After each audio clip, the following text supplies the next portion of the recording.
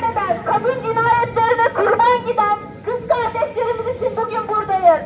İstismara maruz bırakılan çocuklarımız için bugün buradayız. İstanbul Sözleşmesi'nden bir gecede tek bir adamın kararı ile çıkıldığını biliyoruz. 6284 sayılı kadına şiddeti önlemeye yönelik yasanın kaldırılmasını istediklerinin farkındayız. 6 yaşındaki çocukların evlendirilmesine göz yumduklarına, cemaat yurtlarında Kur'an kurslarında çocuklara taciz edenleri akladıklarına şahidiz. Gelin haklarımız ve hayatlarımız için yan yana olalım. Öldürülmediğimiz, ne evde ne de işte köle edilmediğimiz eşit ve özgür bir yaşam için beraber mücadele edelim.